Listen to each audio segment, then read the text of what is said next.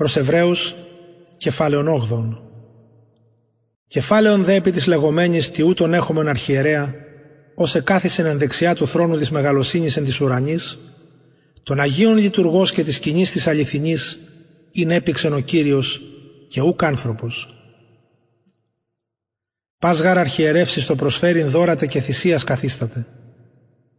Όθεν αναγκαίον έχειν τι και τι ούτων ο προσενέγγι.Ήμεν γαρήν επιγής, ούδαν είναι ιερεύς, όντων των ιερέων των προσφερόντων κατά τον νόμον τα δώρα, ήτινες υποδείγματι και σκιά λατρεύουση των επορανίων, καθώς και χρημάτιστε Μωυσής, μέλλον επιτελήν της σκηνήν.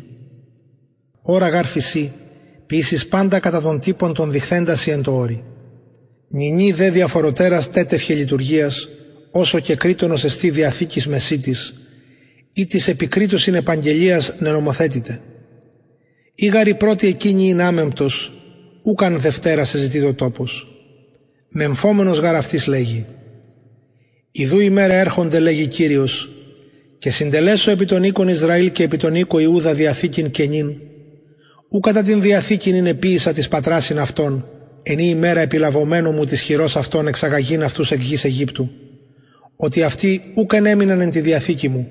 Καγώ ημέλησα αυτόν λέγει Κύριος ότι αυτή η διαθήκη είναι διαθήσω με το οίκο Ισραήλ μετά τα σημέρας εκείνας λέγει Κύριος διδούς νόμους μου στην διάνοιαν αυτών και επί καρδίας αυτών επιγράψω αυτούς και έσωμε αυτής εις Θεόν και αυτοί έσοντέ εις λαών. Και ού μη διδάξω συνέκαστος τον πολίτην αυτού και έκαστος των αδελφών αυτού λέγον γνώθη τον Κύριον ότι πάντες ειδήσους είμαι από μικρού αυτόν έως μεγάλου αυτόν ότι ήλαιος έσωμε τις αδικίες αυτών και των αμαρτιών αυτών και των ανομιών αυτών ου μη μνηστο έτη. Εν το λέγειν και νυν πεπαλαίο και την πρώτην, το δε παλαιούμενον και γυράσκον εγγύς αφανισμού